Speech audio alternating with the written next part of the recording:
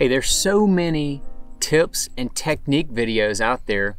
A lot of people can be overwhelmed, don't even know where to start when they want to go bass fishing. You know, you might look at this lake right here and you go, gosh, it looks beautiful. It's a beautiful day. Let's go fishing. You put the boat in the water and then you think about all these videos, all these things that you've read, all these blogs.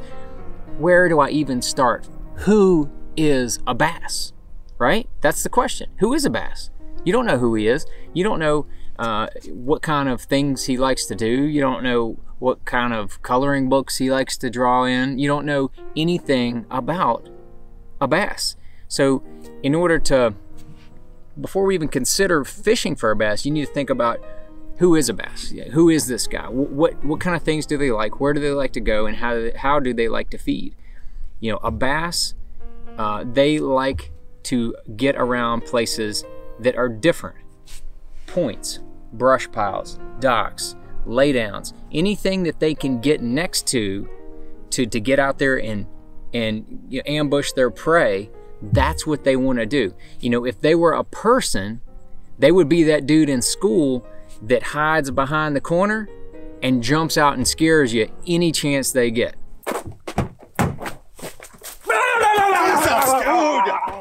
That's right. They're that guy. So the bass is that kind of guy and they don't think twice about it. They are looking for any opportunity to be able to ambush that prey and go out there and eat it. Um, you know, so what kind of a fish is a bass? A bass is actually a member of the sunfish family. That's right.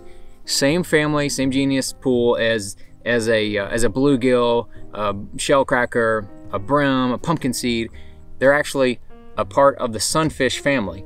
Um, and so being that they're a sunfish family, you think they like to lay in the sun.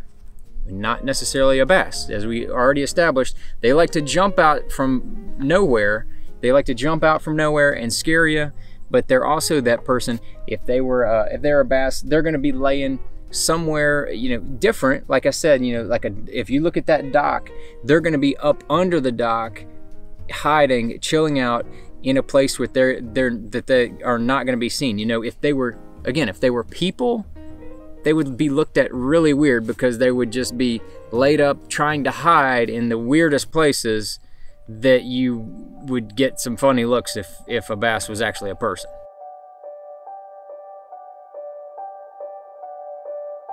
So, luckily, fish don't look at other fish like that because if a bass somebody looks at a bass funny, the bass is so mean that they're gonna they're gonna jump out and uh, and do something to them. But uh, as you're as you're gonna be fishing, bass they're seasonal. You know they, they they're seasonal. In the wintertime, they're probably gonna be uh, in a little deeper depths, but that doesn't mean you can't catch them. They're gonna be on the more vertical structure.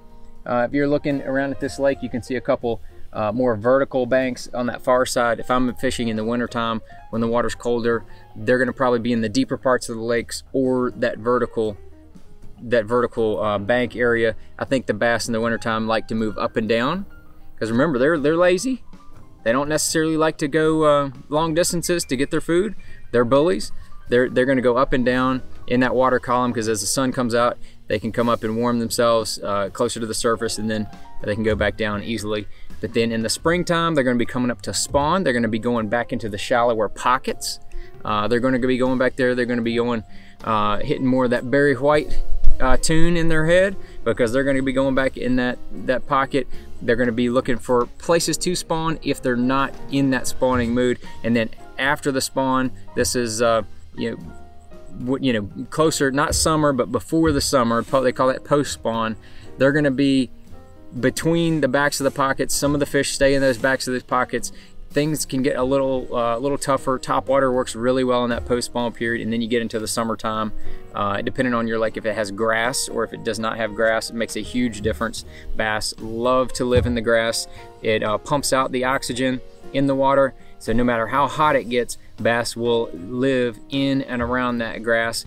Just keep that in mind when you're trying to think of what kind of people that a bass is. Like who is a bass, right? They're gonna be, that grass is just like, uh, just like hiding in, in front of that car. You know, they're gonna be right there in that grass, you know, totally hidden one second, they can move one foot to be out there and ambush their prey. So think about who a bass is. They're a bully. They're lazy. They want to try to stay hidden, and you need to put your bait in an area to where either they can see the bait from where they're hiding, or your bait can go into where they're hiding. Those are the two different ways. And the example of that is if you're fishing a dock, you might be throwing your bait next to the dock to where the fish can come out and get it. Or you could be throwing a bait that goes under the dock to get to where that fish may be laying as well. So just keep that in mind as you go out there and start bass fishing and hopefully you can get a few bites and get something to go on and then you can start getting into all these technical uh, tougher techniques and uh, getting to really know Mr. Bass. So good luck to you.